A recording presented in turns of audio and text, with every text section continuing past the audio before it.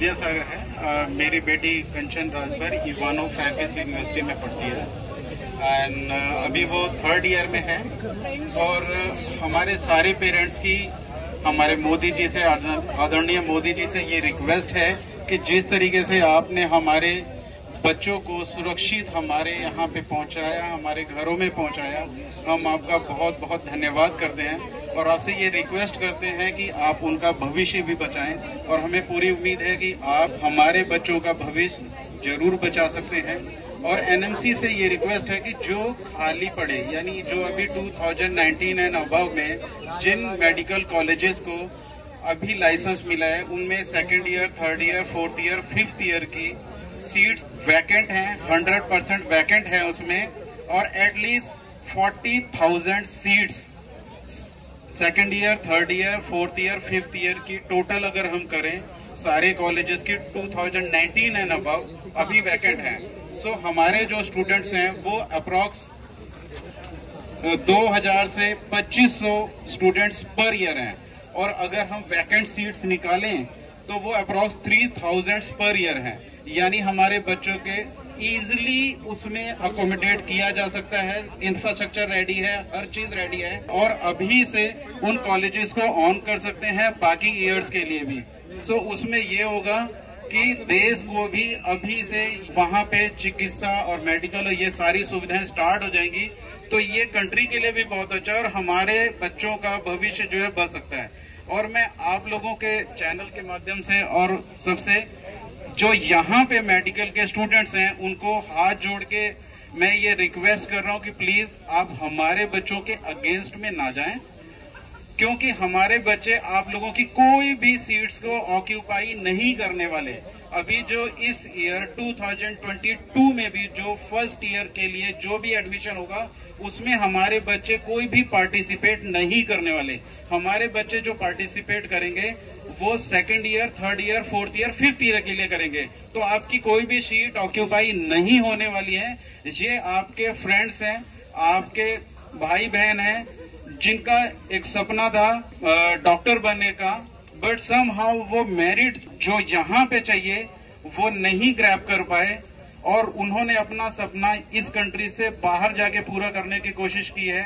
हमारे जैसे पेरेंट्स जो यहाँ पे उतने पैसे अफोर्ड नहीं कर सकते हैं, अस्सी लाख, एक करोड़, हम लोगों ने अपने रिश्तेदारों से बैंक से पर्सनल लोन फ्रेंड्स से लोन लेके अपने बच्चों का भविष्य जो है कि बनाने की कोशिश की है, उनका सपना पूरा करने की कोशिश की है तो आप लोगों से ये रिक्वेस्ट है कि प्लीज़ आप हमें सपोर्ट करें, क्योंकि आगे चल के वो आपकी ही फ़ील्ड में, आपके ही फ्रेंड बनने वाले हैं, आपके ही दोस्त बनने वाले हैं, आपके ही कुलीग बनने वाले हैं।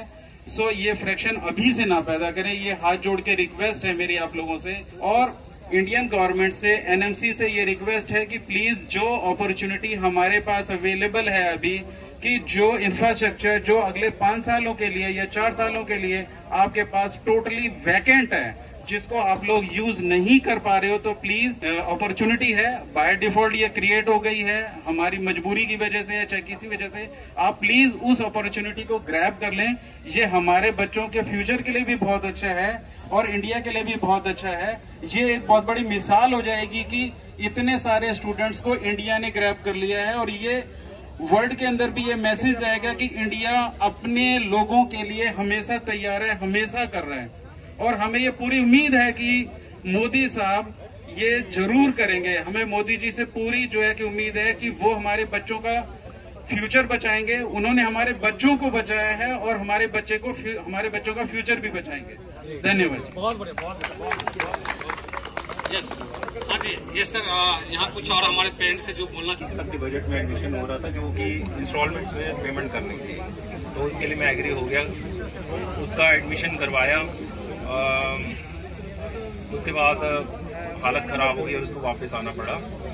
अब, मेरी गवर्नमेंट से ये रिक्वेस्ट है कि जिस तरीके से बच्चों को वहाँ से वापस लाया गया ऑपरेशन गंगा के तहत, वैसे ही उनके भविष्य को भी यहाँ पे सुरक्षित रखा जाए और उनको एडमिशन मिला जाए। जो फ़ीस हम वहाँ भर रहे थे, वो फ़ीस हम यहाँ भरने के लिए तैयार हैं। थोड़ी एक्स्ट्रा भी देंगे, लेकिन हमारे बच्चों को यहाँ एडमिशन मिल जाए। मेरी बेटी ने 2017 में जब वो नाइन्थ क्लास में थी, उसने नेशनल आर्चरी गोल्ड मेडलिस्ट है। पूना में उसने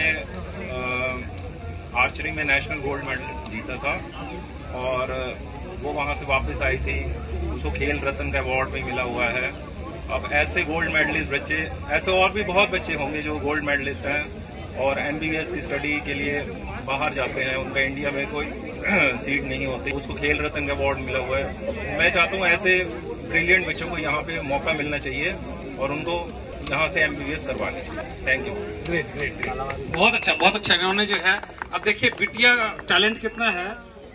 पढ़ाई में भी तेज है और आर्चरीज में gold medalist. Oh my god they are the future really they are the future right तो अब ये है कि अभी उनके भविष्य पे थोड़ा सा जो है क्वेश्चन मार्क लगा हुआ है तो इसलिए इन्होंने अपनी डिमांड रखी है और बहुत अच्छी चीज़ है।